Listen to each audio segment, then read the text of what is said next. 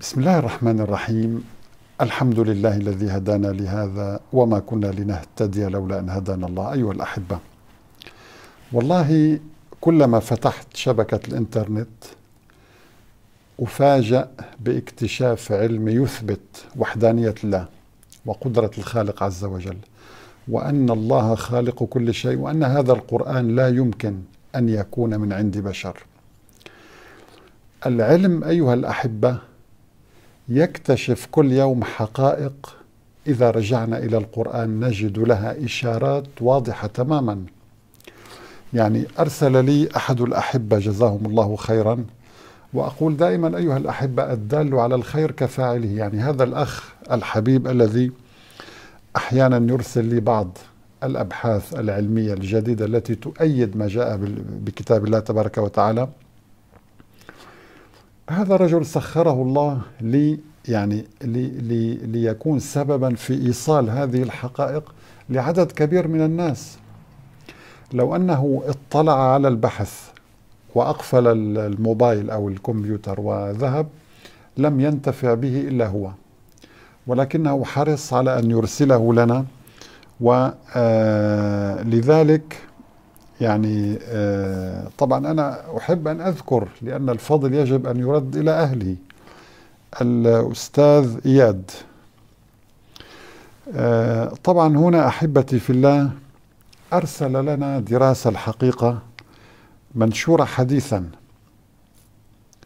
هذه الدراسة أحببت أنا معكم يعني أن أطلع عليها وأنا أطلع لأول مرة عليها اليوم أيها الأحبة.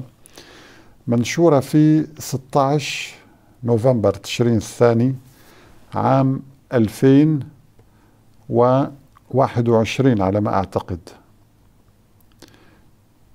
فهذه الدراسة أحبتي في الله وجدت شيئا غريبا. آه 16 من نوفمبر 2020 وجدت شيئا عجيبا. وجدت تشابها كبيرا ومفاجئا ومحيرا بين دماغ الإنسان وبين الكون. دراسة غريبة. طبعا هؤلاء العلماء أيها الأحبة نشأوا على فكرة تقول بأن كل شيء نتج بالمصادفة. يعني الكون جاء نتيجة تطور عشوائي كما يقولون. وهناك انفجار كبير حدث في هذا الكون. وهذا الكون نشأ نتيجة هذا الانفجار العشوائي غير منظم لا يوجد خالق لا يوجد إبداع لا يوجد أي شيء. هو عبارة عن عمليات عشوائية تحدث هكذا. وأنتجت هذا الكون. هذا الكلام حدث حسب الدراسات قبل 13.7 مليار سنة. أرضنا تشكلت قبل بحدود 4.6 مليار سنة. طبعا هذا حسب الدراسات وهذه دراسات نظرية ليست يقينية على فكرة يعني. نظريات نحن نتحدث عن نظريات ولكنها مقبولة علميا لأنه لا يوجد البديل لها. وبالنسبة لنا لا تتعارض مع القرآن فليس هناك أي مشكلة. الإنسان أنت أيها الإنسان وجدت على هذه الحياة متى؟ على الأكثر قبل مليون عام. يعني تصوروا الكون عمره 13.7 ألف مليون عام يعني مليار المليار ألف مليون. وأنت وجدت قبل مليون. على الأكثر نحن نقول. طبعا هو أقل من ذلك. آه طيب في بداية الكون قبل 13.7 مليار سنة كيف تذكر هذا الكون العشوائي؟ أنه سينتج أو سيتطور بلغة التطوريين. سيتطور بعد 13.7 ألف مليون سنة. هناك كائن اسمه الإنسان سيتطور أيضا عشوائيا وسينتج له دماغ شبيه بما يسمى بالنسيج الكوني. النسيج الكوني. أنا هنا لكي أكون دقيقا. اولا هذه هي الدراسة. طبعا هنا منشورة أيها الأحبة يمكن لمن يعني هذا عنوان الدراسة. طبعا معروفة يعني الدراسة يمكن أن نضع لها رابط لمن يحب. وهذا هو هذه هنا نبدأ معكم بهذه الصورة فقط لكي نتكلم وتكون الصورة أمامنا طبعا أيها الأحبة. هنا طبعا هنا هنا نرى الدماغ البشري مكبر آلاف المرات بعد تكبيره آلاف المرات. وهذه الصور مرسومة رسما لأن ال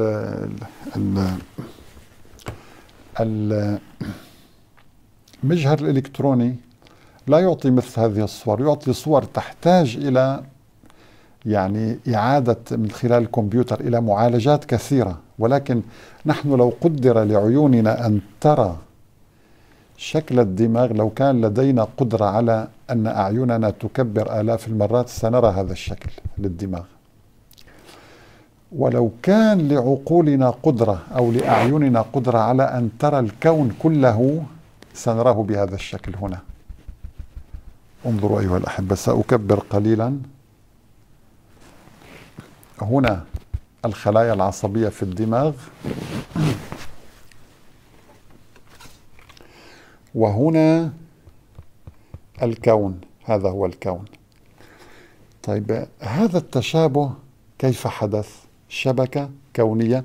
طبعا هنا كل نقطة من دماغك أيها الإنسان هنا تمثل خلية. الخلية لا ترى بالعين ولا ترى إلا بالمجهر تحتاج لنكبرها مئات المرات حتى نستطيع أن نراها بالعين. هنا كل نقطة هي مجرة فيها أكثر من مئة ألف مليون نجم. هنا على فكرة مجرة. كل نقطة صغيرة هنا مضيئة. هي مجرة. انظروا أيها الأحبة سأكبر أيضا. هذه النقاط الصغيرة هي مجرات ليست نجوما مجرات. فلو كان لدينا القدرة على أن نخرج خارج الكون وننظر إلى الكون من الأعلى سنرى هذا النسيج المحبوك المحبوك. لذلك الله تبارك وتعالى عندما عندما أقسم بالسماء ماذا قال؟ قال والسماء ذات الحبك. حبك محبوكة حبكا. ويف بالفعل هذا يسمى نسيج كوني. كوسميك ويب هذا نسيج دماغي. شبكة دماغية نسيج دماغي هذا.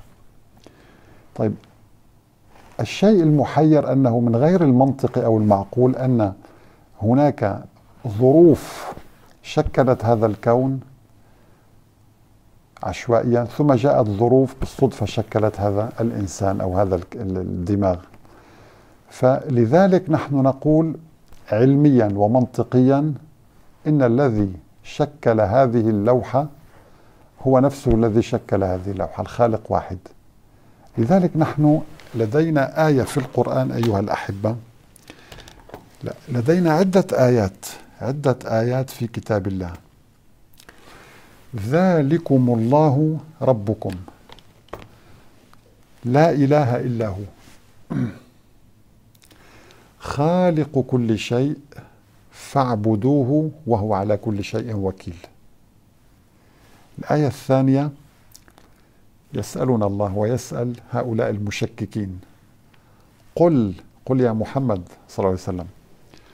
قل من رب السماوات والأرض؟ قل الله. الله يجيب لأن لأن البشر لا يستطيعون الإجابة. قل من رب السماوات والأرض؟ قل الله.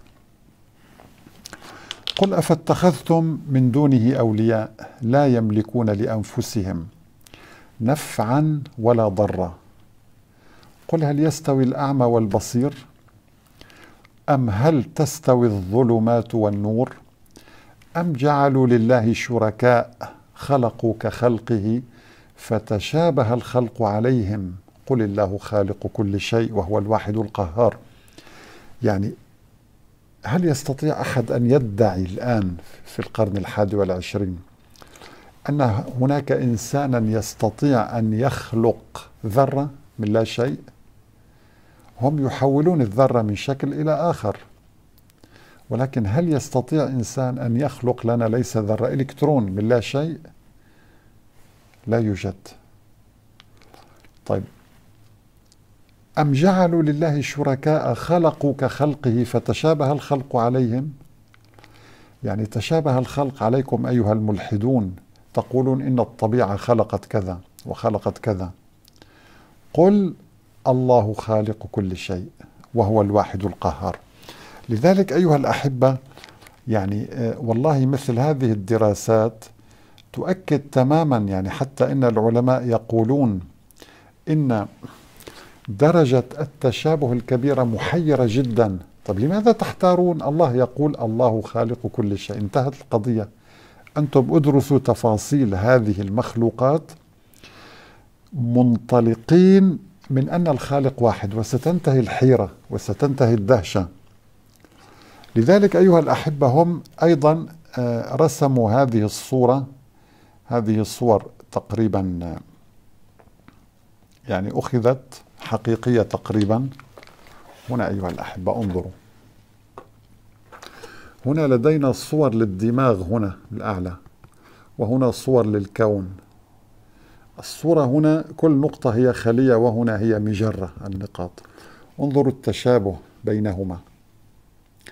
طيب هؤلاء باحثون ودارسون وهذه هذه الدراسة هل هل تعلمون كم باحث شارك بها؟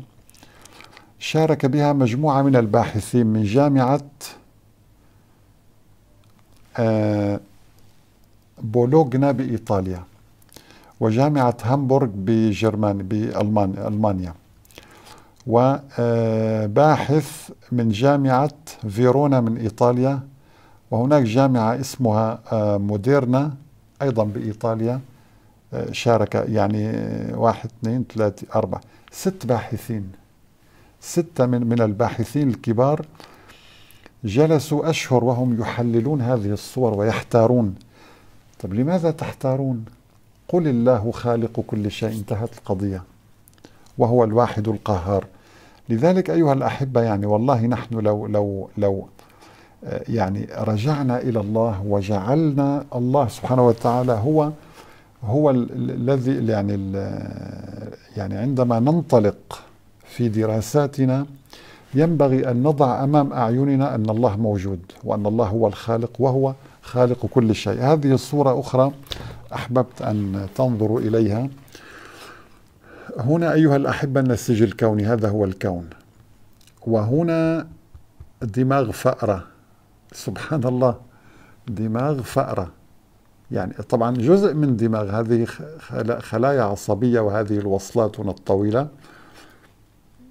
تشابه انظروا انظروا. وهنا تجمع للمجرات في المركز وتنطلق هذه الخيوط. كل نقطة هنا مجرة على فكرة. المجرة فيها يعني مجرتنا مثلا فيها 400 ألف مليون نجم. هي تظهر هنا كنقطة إذا إذا قدر لنا أن نرى سنراها نقطة صغيرة. طيب إذا إذا أدمغة الحيوانات أيضا تخضع لهذه القاعدة. معنى ذلك إذا أردنا أن نفكر بشكل منطقي أيها الأحبة ينبغي أن نعتقد أن الله خالق كل شيء وينبغي أن نعترف بوجود إله لهذا الكون. ولا داعي لأن ننكر الإله. ما الذي س... يعني أنا أتساءل ما الذي يستفيده الملحدون عندما ينكرون وجود الخالق؟ لا أدري. ما هي الفائدة؟ أنا أدرس النظريات العلمية والحقائق العلمية. وكل علوم الفيزياء والفلك وكذا وكذا وأنا بداخلي مقتنع أن الله موجود طيب ما هي المشكلة؟ لماذا تريد أن أن تجبر الناس أن يعتقدوا أن الله غير موجود؟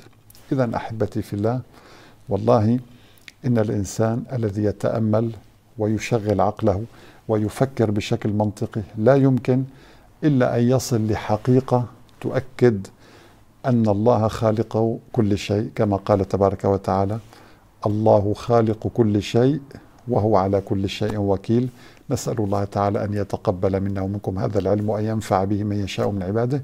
والسلام عليكم ورحمة الله تعالى وبركاته.